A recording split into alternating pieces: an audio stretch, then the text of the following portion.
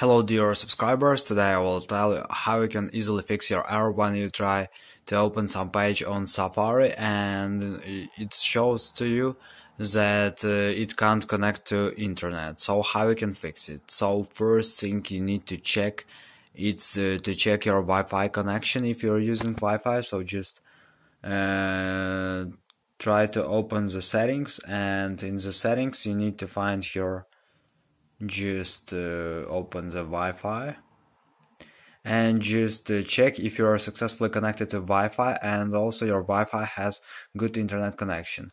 So if you also check it, just uh, try to turn on airplane mode, just wait some time and just turn it off.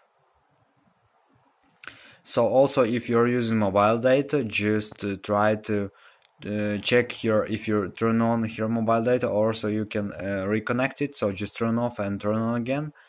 And if it doesn't help you too you can also try the another thing another way. Just open the general. And in the general you find reset.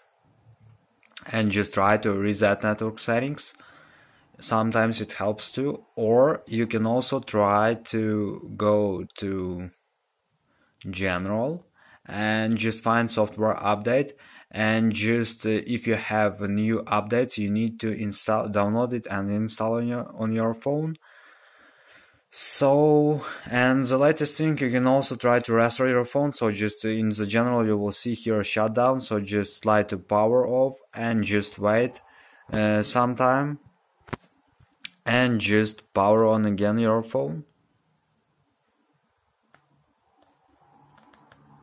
so just press on home button. And here you can see that we successfully restored our phone. So i hope that it will help you. So thanks for watching. Have a nice day. Subscribe to my channel. Click like and goodbye